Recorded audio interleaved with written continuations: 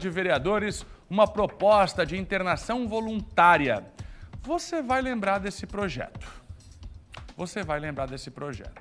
É quando o governo pode retirar das ruas pessoas que usam drogas e fazer uma internação involuntária.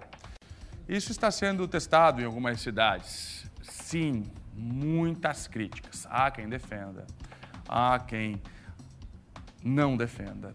E diz o seguinte: cada um tem o direito de ir e vir. O Estado, o governo não pode interferir nessa questão.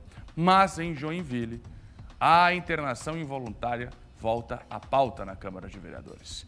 Por isso eu vou para lá agora conversar com o Luiz, que está chegando comigo ao vivo. Como é que essa discussão está acontecendo na cidade e o projeto deve ser aprovado na Câmara Municipal, hein, Luiz? Bom dia. Bom dia, Fernando. Pois é, esse assunto foi bastante debatido, inclusive na época da campanha, né? Foi bastante, uma discussão bastante comum entre os, os candidatos à, à, prefeitura aqui de Joinville.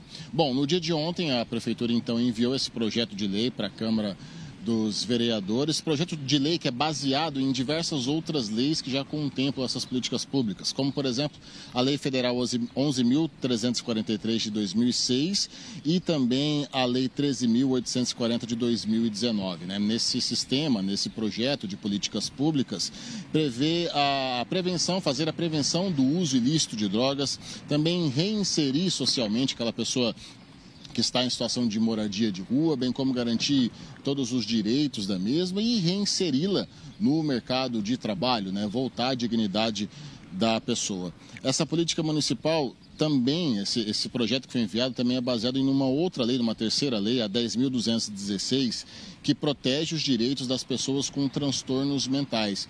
Geralmente, quando a gente vê a pessoa em situação de moradia de rua, a gente sempre atrela ao uso de drogas ou ao uso abusivo de álcool, mas também existe muitas pessoas com transtornos mentais que estão em situação de rua e também nesse projeto de lei prevê o direito a dessas pessoas.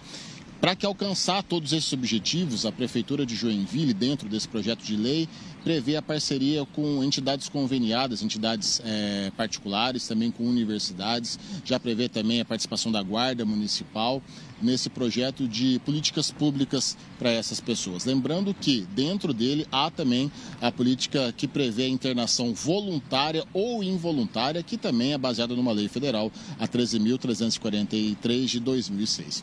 O projeto foi enviado e agora começa toda a discussão para saber se vai ser aprovado integralmente ou se vai ter alguns vetos dentro dessa lei que foi enviada para a Câmara de Vereadores. Fernando, eu volto contigo no estúdio.